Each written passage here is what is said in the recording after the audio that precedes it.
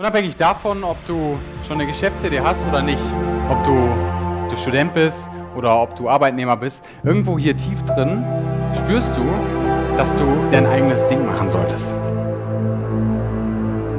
Du spürst, dass du deine eigene Geschäftsidee umsetzen solltest. Du spürst, dass du dein eigener Herr sein möchtest, über deine Zeit bestimmen möchtest. Du spürst, dass du die Welt ein kleines Stückchen besser machen möchtest.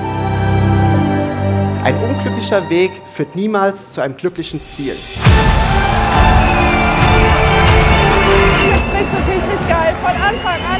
Ist einfach echt super.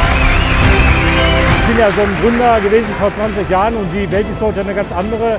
Und gerade diese Verarbeitung von Fuck-Ups finde ich also extrem äh, wichtig und total spannend hier. War echt ein krasser, krasser Rückschlag, auch emotional für mich. Alle haben gesagt, es geht nicht. Und dann kam einer, der es nicht wusste. Und der hat es gemacht. Wir bieten eine Bühne für Menschen, die Macher sind, umsetzen und ihre Träume verwirklichen.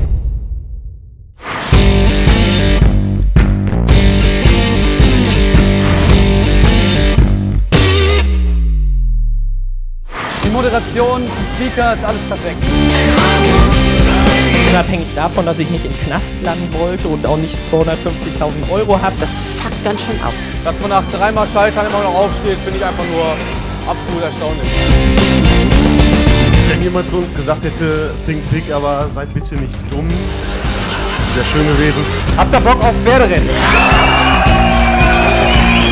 Eins, zwei, drei. Und wir gehen richtig Vorbei an der Vordertribüne. Vorbei an der Schießertribüne.